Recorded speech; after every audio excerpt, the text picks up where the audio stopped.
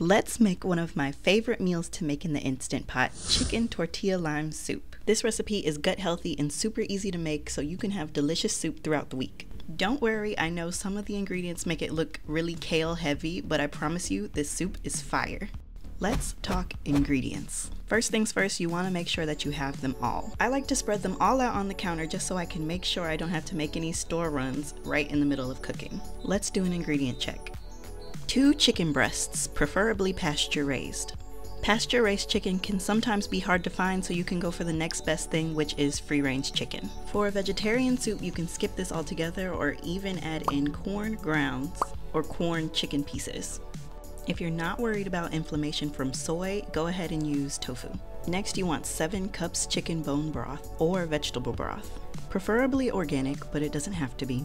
Half of a yellow onion, 4 stalks of celery, at least 5 cups of chopped kale, avocado or olive oil, minced garlic cloves, 1 to 2 tablespoons of lime juice, either straight from the source or from the bottle, and an optional 1 half cup chopped organic tomatoes. If you want your soup completely anti-inflammatory, feel free to skip it or use Pomi brand Italian tomatoes. Now for the toppings. Toppings are your choice, but the options are avocados, Parmigiano Reggiano, and cilantro.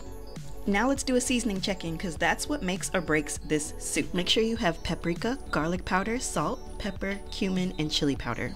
So we're gonna cook the chicken separately. I like to clean my chicken breasts by running them under cold water and then adding baking soda and vinegar. I don't know if it does much, but it does help my chicken anxiety. Then I'm gonna go ahead and season my chicken with salt, pepper, paprika, and garlic powder. Then pop it in the air fryer at 390 for 20 minutes. You can also bake it, but air frying is way easier to me. Also, use avocado oil spray or olive oil spray. Throw that Pam away. I used this slicing attachment in my food processor to chop up the celery because I do love a chunky soup and this gave me the perfect size celery. But I used the chopping attachment to cut up the onions because I don't really like huge pieces of onions in my soup. All you really need is half an onion, I think any more would probably be too much. Then you want to separate the kale leaves from the stems and chop it into small spoonful size pieces. I used dino kale because it's pretty, but a quicker option would be to use baby kale. Once all your vegetables are chopped, you want to press the saute button on your Instant Pot and heat up your oil. Once your oil is hot, add your celery and onions, wait about a minute for them to cook, and then add your garlic.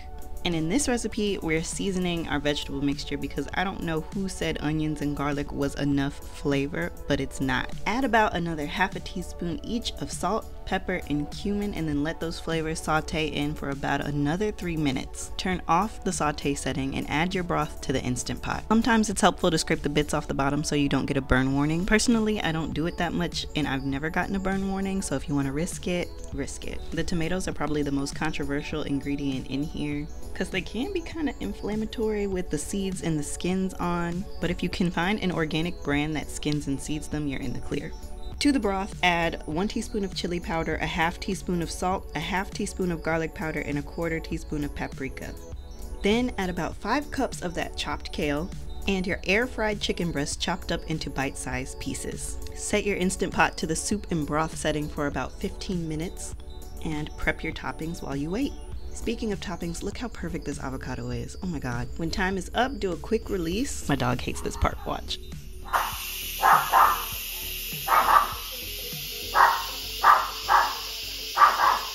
It's gonna smell so good, I promise. And then now is where you're going to add your freshly squeezed lime juice. Even if it's not freshly squeezed, that's cool too. I'm not judging. Then you want to serve it to eat immediately. It refrigerates and freezes pretty well too, but I promise once you smell it, you're going to want to have some right then and there. I like to have it in the fridge as a low effort backup meal when I don't feel like making anything and I can really only manage to scoop some stuff into a bowl and eat. Because let's face it, who's got time to make every meal a five star production? I top my tortilla soup with half an avocado, Parmigiano Reggiano, cilantro, and the Siete dip chips. Siete also has flavored cassava tortilla chips that can add another layer of flavor to this soup if you want. I think the nacho flavor is pretty good, but my partner is partial to the jalapeno. This recipe is definitely one you'll want to add to your healthy but tasty collection. Find the written recipe on my website, tendingyourtransformation.com. Or join me on Patreon where you can get full access to my recipe reference card collection and join the community where we can talk about different recipes we're trying, making healthier, and making taste better. I hope to see you there. Thanks for watching, and as always, I'm sending love and healing your way. Bye.